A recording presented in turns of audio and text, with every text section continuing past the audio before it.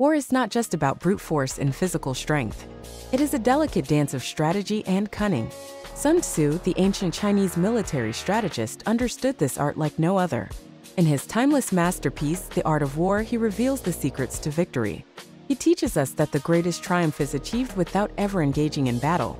It is about knowing your enemy, understanding their weaknesses, and exploiting them. It is about mastering the art of deception and misdirection.